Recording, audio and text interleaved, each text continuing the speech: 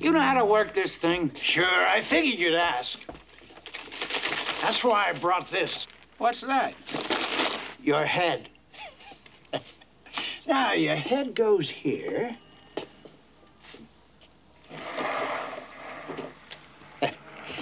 Okay, Lieutenant. Now, the first thing the magician does is prove to the audience that this is a real guillotine.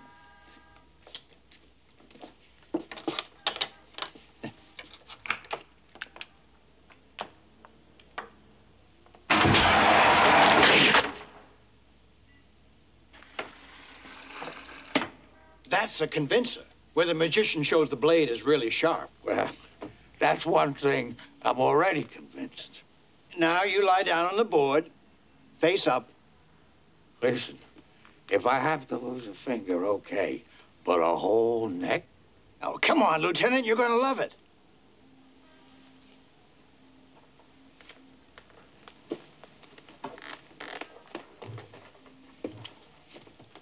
That's it. Just lie back. Down there.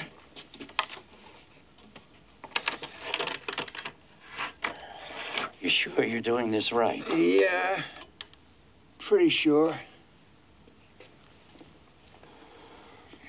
Comfy? Good. Here we go.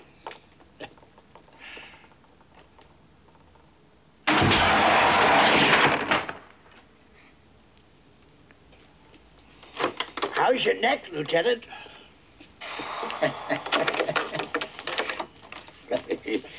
I'm just glad Mrs. Columbo wasn't here to see this. She'd had a heart attack.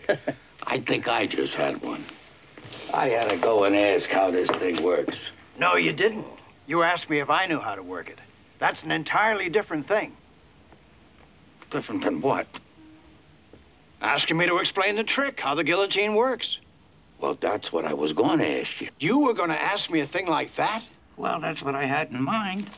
I can't tell, Lieutenant. But this is for Max. Max was a magician. I'm a magician.